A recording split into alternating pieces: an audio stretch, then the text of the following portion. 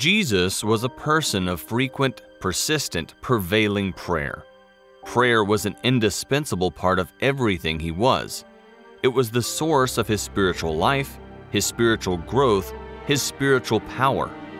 In Matthew 26:41, he urged his disciples to keep watch and pray so that you will not give in to temptation. There were at least two pivotal moments in the life of Jesus when his prayers stood out above all other times. One was at the Garden of Gethsemane when Jesus faced the reality of the cross. Though his disciples had come with him, Jesus left them to rest while he went further into the garden and prayed so intensely that he sweat significant drops of blood. See Matthew 26, 36 44 and Luke 22, 44. The second prayer of monumental importance came during those dark, awful hours he spent upon the cross. Though he was undergoing the intense agony of crucifixion, Jesus' heart went out to his tormentors and, on their behalf, he prayed, Father, forgive them, for they don't know what they are doing. Luke 23 34. There is no doubt about it, our Lord was a man of prayer. When and where did Jesus pray? Deep, prevailing prayer is not always convenient. Effective prayer demands a commitment to time and place. Jesus exemplified this fact in Mark 1:35. Before daybreak the next morning, Jesus got up and went out to an isolated place to pray. When did Jesus pray? He prayed during the early cool of the day. He prayed when there was no one around, when there were no interruptions. He spent early, quality time with his Father. He prayed while his mind was fresh and unencumbered with the many details of living. Have you ever risen very early in the morning to pray? Those times are often the most refreshing, the most rewarding, the most precious. Where did Jesus pray? He could have stayed in his room or even in the house, but he didn't. He found a solitary place in which to approach and commune with his Father. As our example, Jesus prayed. He prayed frequently. He spent quality time in prayer. He prayed when and where interruptions would not beset him. Though Jesus had come from the Father, he knew his strength lay wherein? In prayer. So if Jesus needed to pray, how much more must we? If he needed to find quality time to pray, how much more should we? And if he deemed it necessary to get away from others while he prayed, shouldn't we? If you own a car, you know you must put fuel in it regularly, or it stops running. You know you must feed your body regularly, or it will die. Prayer is the fuel that feeds the spirit of man. And if your spirit is not refueled by frequent prayer, it will run down and come to a complete stop. Christ also spent entire nights in prayer. Luke 6:12 says, "One day soon afterwards Jesus went up on a mountain to pray." And he prayed to God all night. All night in prayer to God. Some people will say, But I can't do that. I've got to get my rest. Yes, you need your rest, but you need to spend some nights in prayer. I agree it isn't easy, but necessary. It must have been so with Jesus because crowds of people often wanted merely to touch him. How much he must have needed the refilling that came from those nights alone with his Father. The result was always a fresh supply of power and anointing sufficient for the never ending drain upon his spiritual resources. But during those nights when he prayed, laying before the Father the needs of a hurting, sinful world, God met him. And our Father will do the same for anyone who cares enough to forfeit a few hours' sleep to rendezvous with the Almighty. For a person to give up their rest to intercede for others reveals their sincerity, and for a person to devote to God alone a morning, a day, or an entire night shows his or her passion to help and bless people and indicates that they are his or her first concern. The church must rediscover its source of power. The church today has beautified itself by constructing high buildings and impressive places of worship. But the same church, in many cases, is out of touch with people as a result, there has been an entire generation that doesn't know God, that doesn't love and serve Him. My friends, this generation needs God. The Church Today Church must be reborn for the task of reaching this generation for God. It must reach the mountaintop and spend time in prayer. We need to seek God. We need to learn how to search for Him with all of our hearts. We need those mountaintop prayer meetings. We need those times of solitary prayer. We need them a thousand times more than Jesus ever did.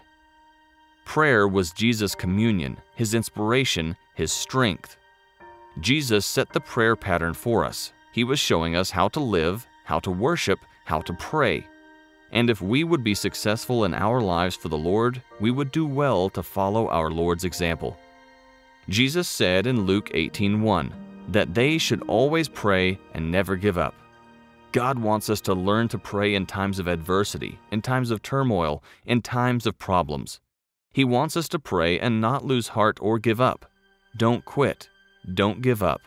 Anybody can do that, but it takes endurance, courage, and commitment to pray and not lose heart. Prayer held no second place in Jesus' life. It's beautiful to realize that even though Jesus was the Son of God, the Savior of the world, prayer was always first place in his life.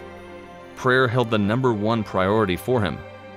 Is prayer first place in your life? Does it have that same priority in your life as it did in Jesus' life? Let's be very honest. Most of us pray if we have time. We pray if the baby doesn't cry and disturb us. We pray if the neighbors don't come over for the evening. We pray if we don't have to clean the house or go shopping or go to work. But if prayer is to be effective in each of our lives, as God intended it should be, it has to hold topmost priority in our lives. When Jesus went to the mountaintop to pray, he was there for that single purpose. Nothing disturbed him there, so he prayed. And until you and I can learn to utilize prayer in the same single minded fashion, we'll never be able to reach the mountaintops of blessing and anointing and receive God's blessing. The High Priestly Prayer of Our Lord. Jesus' prayer in John 17 is one of the most significant chapters in the entire Bible. In it, we can feel the very heartbeat of Jesus as he prays to his Father and the concerns for his people that he expressed there are concerns that we should share as we go to God in prayer. Let's look at some of those things Jesus prayed about in his high priestly prayer, the prayer in which we can also sense the depth of his love for the Father and us, his children. Jesus prayed that his disciples would all be one. Now I am departing from the world. They are staying in this world, but I am coming to you. Holy Father, you have given me your name now protect them by the power of your name so that they will be united just as we are. John 17:11. What a precious realization. Jesus prayed for you and me, and he prayed that we might be one with him in the same way that he is one with his Father. Think of the closeness, the warmth, the sharing that goes on between fathers and sons. And Jesus is asking the creator of the universe to bring about that same affinity between Jesus and all his followers. The fact that Jesus prayed for this indicates that such is possible and that we should pray for it. Jesus prayed that his disciples would have joy. Now I am coming to you. I told them many things while I was with them in this world, so they would be filled with my joy. John 17, 13.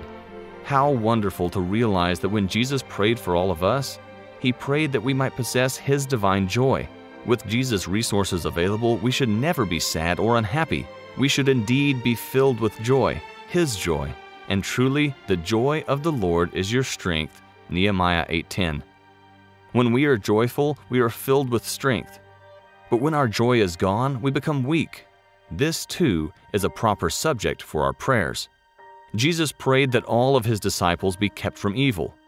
Jesus knew that all his followers would be under attack. His prayer in John 17:15 was, "I'm not asking you to take them out of the world, but to keep them safe from the evil one." God doesn't take us from our jobs to keep us from exposure to evil. The devil is determined to destroy us and continually tries to draw us away from God and His Word. But Jesus, the Son of God, prayed that we would not be overcome by any of the tricks the devil employs against us. And we need to pray likewise every day. Jesus prayed that his disciples would live holy lives. Sanctify them by your truth. Your word is truth. John 17, 17. Sanctify them, Jesus prayed. The word sanctify simply means to set apart for a sacred purpose, to consecrate, to purify. There's only one way, only one means to achieve this, the Word of God. God has provided His Word as the instrument of our sanctification. Ephesians 5 25 and 26 says, For husbands, this means love your wives, just as Christ loved the church. He gave up his life for her to make her holy and clean, washed by the cleansing of God's Word. We sanctify ourselves by availing ourselves of His resources, by reading the Word of God, by obeying the Word of God, living as the Word of God directs, and praying for His purifying to be accomplished in us. Jesus prayed that His disciples be perfect. John 17 23 says, I am in them, and you are in me. May they experience such perfect unity that the world will know that you sent me and that you love them as much as you love me. This is amazing, but it's exactly what Jesus prayed that we may be made perfect in Him, that the world around us might come to know the love of God in Christ by observing our clean living and our godly lives. Indeed, we need to ask God daily to use us as effective witnesses in His love. In John 17:24, Jesus prayed that his disciples would receive eternal life. Father, I want these whom you have given me to be with me where I am, then they can see all the glory you gave me because you loved me even before the world began. Think of it. Jesus prayed that the inhabitants of the entire world might receive eternal life. For God so loved the world that he gave his only begotten Son, John 3:16. Jesus is that only begotten Son described in this scripture. He is the one who prayed for us, for you and me, that we might inherit life everlasting. What a blessing hope we have in Jesus. And in like manner, we should pray daily for the salvation of those we love who do not yet know the Savior. Whatever we are or become in our spiritual lives, we owe it all to the Savior who gave Himself for us, who prayed for us that we might be one with Him, and who gave us such a beautiful pattern to follow in our own prayer lives. Father, Lord, help me learn you, are Lord of my life. You have the power to rule all that I think, believe, and do. When I allow my mind to run to places that destroy my peace, remind me these are illegal thoughts. You do not require me to dwell on feelings and affections that contribute to fears. I acknowledge my mind will live in perfect peace as I fix my attention on you. So, Lord Jesus, let your peace govern my heart. Remind me of the peace I have in your house, and teach me how to be grateful for those events that make me run to you, center on you, and remain in you. I never need to live with fearful, troubled thoughts. The truth is, you are in control. Dear Father in heaven, I praise you for your steadfastness and steady presence in our lives. At times, we can feel you right next to us. However, it is difficult to grasp that you are there at all. Sometimes life gets so painful that our minds just cannot feel you through the pain. Sometimes you take away those feelings so that we may seek you even more fervently. I pray now, Father, that I may rely not on my emotions, but instead on your love for me.